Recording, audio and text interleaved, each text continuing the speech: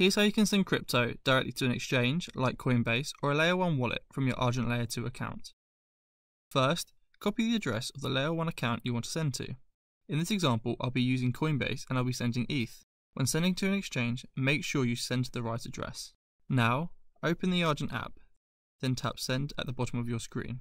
From there, tap on the address bar at the top and then paste the address of your Layer 1 account.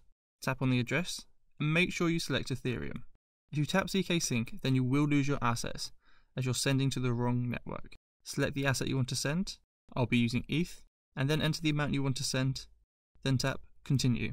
Here you can review your send. Sending from layer 2 to layer 1 requires a layer 1 gas fee, which can be expensive. And when you're ready to send, tap Send Now. Your transaction will now be in progress. Sending from layer 2 to layer 1 can take up to 8 hours, so please be aware of that. When the transaction does go through, you'll receive a notification and your funds will have arrived in your Layer 1 account.